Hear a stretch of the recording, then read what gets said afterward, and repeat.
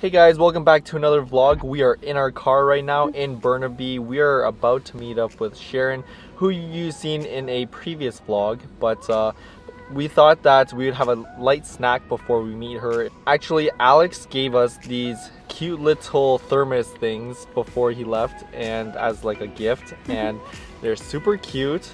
I thought it doesn't hold much food, but we did like a liquid test to see how many mils it can hold and it's not bad, but we'll see if this is enough to fill me. I definitely like the color and the design though. Yeah, and it came with stickers, which is really cool. yeah, we're gonna stick that on different things once we find a use for it. For lunch today, we have leftover rice and broccoli and asparagus and some of our uh, what was it? Pork, pork, roast. Yeah. Yeah, pork roast. We had this whole debate last night whether or not steaming your food and then putting in the thermos or microwaving it and then sticking in the thermos. If there's a difference as to which one retains heat better or just is overall better. And I was on the side that steaming it is actually better. I think that microwaving it and steaming it makes no difference at all. I'm not sure because my whole childhood was steaming our food. For lunch, we wouldn't bring like sandwiches or anything. We'd actually bring like a thermos like this, and we'd have rice and different types of leftovers. Super Asian. It'd only be on the off days that I would actually have sandwiches. So this is very nostalgic for me. yeah, I sometimes had food in a thermos, but I, will I will also have sandwiches and stuff like that.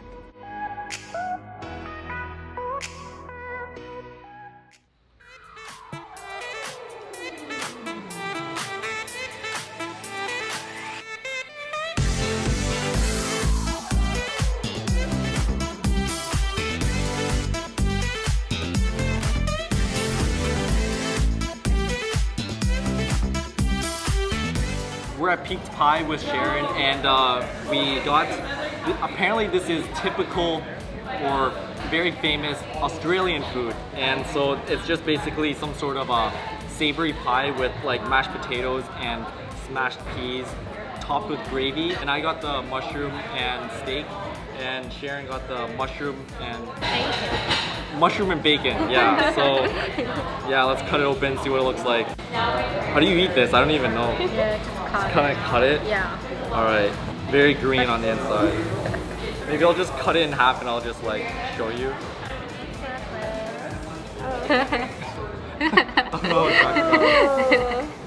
All right, go for it.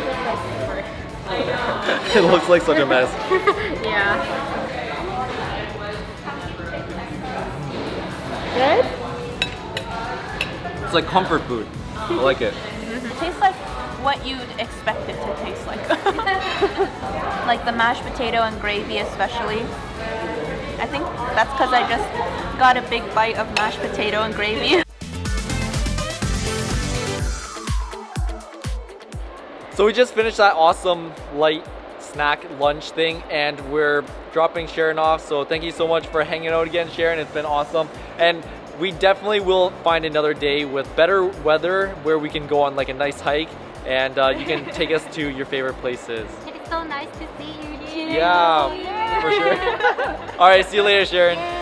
We just got home from grocery shopping and now we're putting away everything and cooking dinner. So we actually saw a lot of people in the taco aisle and we were like kind of inspired. We were like, wow, we haven't had tacos in like forever. Today we're gonna try to attempt to put together a box taco package thing. It was so unfortunate that today's weather was like not great. We've been trying to meet with Sharon for quite a number of weeks now and because of weather and schedule conflicts, it didn't really work out. It was my lack of foresight and planning and I didn't check the weather. Oh, hey.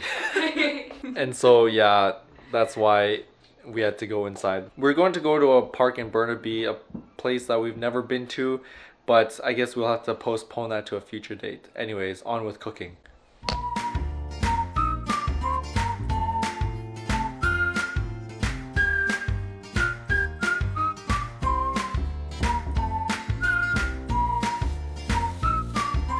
Old El Paso unboxing time. Okay. When was the last time you had this? I never had this before. I never had the old El Paso in my life. You guys never did taco nights or anything? My mom made homemade tacos. Wow, so bougie. Seasoning mix, taco sauce, and soft shells. There's six of them. And hard shells. There's six of them. Not broken. Not broken. Alrighty, we have our vegetables cut and now Riley's gonna fry the meat. Apparently there's also a surprise inside the box. So let's open it and see. Ta-da! Free Old El Paso dinner kit. That would have been useful tonight. Yeah. so this was buy one get one free essentially because it gave you a coupon for a free one. Good find. Good find. Yeah.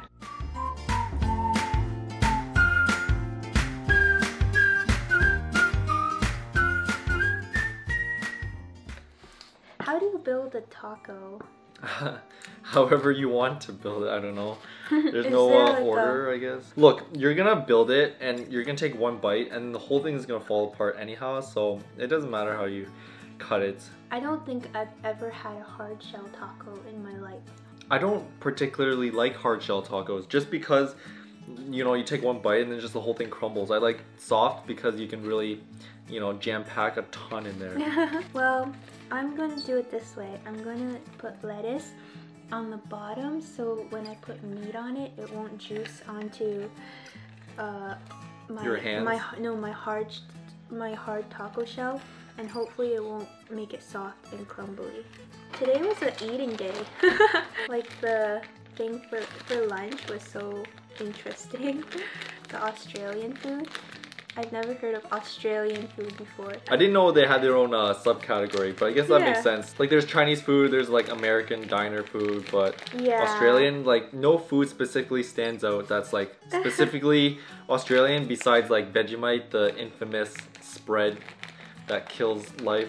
But I guess there's no like Canadian food either. right? yeah, no, you got poutine. Oh yeah. Poutine and maple syrup, very closely tied to our uh, heritage. and Oh, also, funny story about the sour cream. We're um, at Walmart and we're buying sour cream, and Yeah. it was actually on sale because it like expires in like two days. But it's also like no fat, so no one wants that because no fat just is no fun. We tried a little bit of it, like licked the sour cream off the lid, and it actually tastes pretty good. It's just like maybe a little bit flavor off, but it's not like drinking like Coke and then Coke Zero. It's pretty non-noticeable. I don't know how to eat this, but it's good though. Uh, since it's no fat, I have no shame, so just pile that on there. this is your first time trying El Paso. What do you think about it? Pretty good. Usually we make our own fajitas. It's unique to have hard shell tacos, I guess. There's still taco sauce. Oh, Yeah. I will get that. I was gonna say the taco seasoning. I think we can just make it at home. Chili powder, Chili powder, garlic powder, onions. Tastes like everything we have at home. Yeah, basically. together. These taco kits are actually pretty cheap, and I mean, six soft shell and six hard shell tacos plus seasoning and stuff is about like two dollars something, and it's buy one get one free Mhm. at like a later time. In high school, for fundraisers, we always um, sold deconstructed tacos using Doritos. So you would buy a Doritos bag and then you fill it, you open it and fill it with all these toppings. Then you crush up the Doritos inside and mix everything up and you eat it with a spoon. Mm, that's very unique. hmm How much did you sell those for? I don't know. Ten bucks. No. I dare you to do that at a potluck. Just bring a giant bag of Doritos, crush it all up, and whip it in there. All right, first soft shell taco. All right, this is getting a little out of hand. It's getting very high over here. All right, well that's nowhere close to closing. For soft shell tacos, do you just fold them in half or? yeah, you fold them in half. Okay, so if you wrap it up, they It's call it a burrito. yeah. But the fillings from what's inside a taco versus a burrito, they're like basically the same thing. Burrito, you have beans and rice.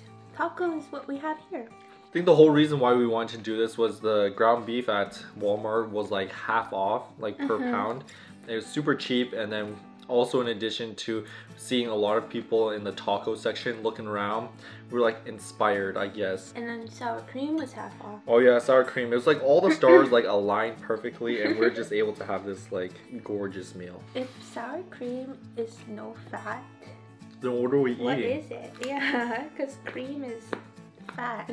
Modified milk, modified cornstarch, microcrystalline cellulose. Modified cornstarch is used as a thickener. Cellulose thickener, gum thickener, carrageenan is a thickener. Man, with all this, with all the amount of thickeners you just listed, I would expect this to be like molasses. Sam tapped out, so I guess it's up to me to finish all this. Alright, I'm all good here. It's been a very chill weekend. We didn't really do too much. We hope that you guys enjoyed today's vlog, and we will see you guys next week. Peace.